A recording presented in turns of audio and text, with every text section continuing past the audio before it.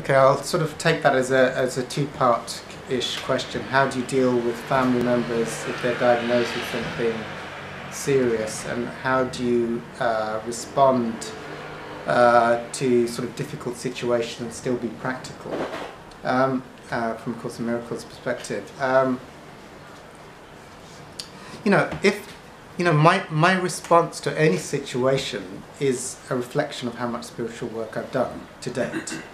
so, depending on how much work I've done on letting go of my ego, how much forgiveness work, you know, pray for a miracle to see it differently, or the observer, or feeling feelings, uh, I am already at a different level of consciousness to when I first started.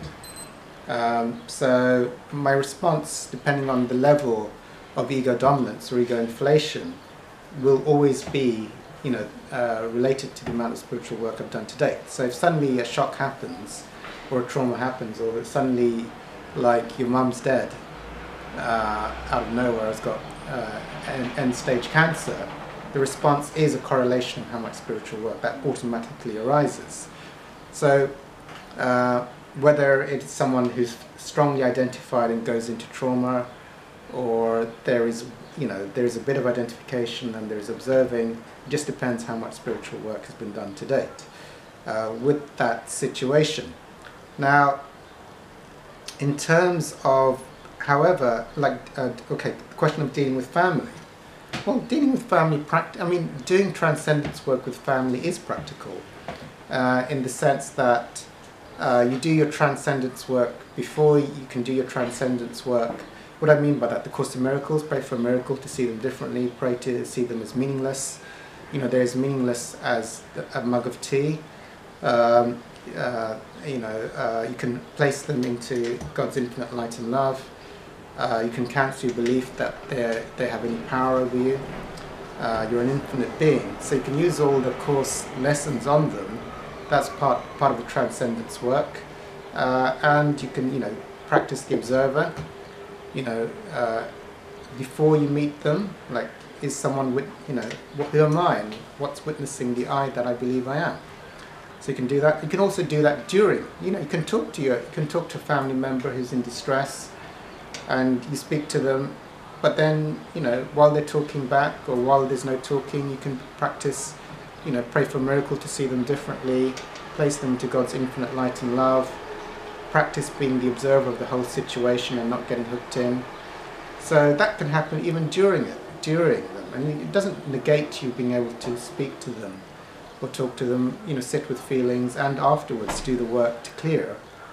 Um, you know, especially if, if, if they're in distress and the ego is heavily identified, they're extremely ill, doing lots of spiritual work beforehand, I think is a good thing because, you know, if you're in, you know, they've got a bad news and you're feeling very identified with fear and in your thoughts and the body, you see, you're almost like coming out of that reflection when you meet them because you'll be heavily identified with fear, projecting a lot of stuff and negative thoughts. So if you do a lot of a lot of clearing work before you go in, that will tend to elevate you, and it'll be better for them and for you. Um, I would also say with um, doing transcendence work, you know, I, I, always like, and I regularly sort of share this in the group, like doing transcending work with your relatives or anyone is probably, I think, one of the biggest gifts you can do for them. You know, depending on how much forgiveness work and how much work you do on yourself to release their power over you and their effect on you, I think, and I, I'll just say, you know, uh, you don't have to transcend someone. You can just do a bit of work on them, and that will benefit them. What, just remember, uh, I always love to talk about uh, Dr. Hew Len.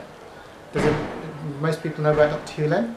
I've heard of him. So, uh, Ho'oponopono. So this was a guy. This was a guy. We, we, we are on. Um, uh, yeah. So this was a guy who uh, I would say he's a mystic. So he doesn't really want to go and meet you necessarily but he'll forgive everything, all the perceptions he has of guilt in you, and any data he's holding about what is projected in this situation from the collective. And clear, I, that's my take on it. He clears it until until there's nothing left in his mind. So he got all the files of the prisoners, all these violent prisoners, and he just did this inner spiritual work, and whole, everyone got well in that prison, and they all left, and they closed the prison down. And he didn't meet them. I don't think he went and sort of talked to them and gave them therapy. He just got the files. Okay, this is an axe murderer. Let me just clear that data. You know, if he's sinful, let me just clear that data and clear what, what is coming up for me until it was 100% gone, i.e., fully transcended. For me, when something is transcended, when you're in the present moment, you, that data is gone. You know, there's, there's only now. So if I'm having a memory of something over and over again, um, then I haven't really transcended that data. It still has some pull. You know, still there's an emotional identification or or the images have a special projection on them. Otherwise, you know, like if someone puts a mug of tea in me, I'm not going to obsess about that mug of tea for the rest of my life because it's a meaningless object. There's nothing attached to it. it it's, it's, uh, it's a neutral thing. So the ego can't uh, attach to it. So when I did the transcending work with my mother, you know, it was a very, very difficult relationship. It became a, a, really amazing, loving relationship. You know, she died. I was at her side telling her I loved her. She told me she loved me. And it wasn't like that before I did spiritual work, I can tell you. Uh, so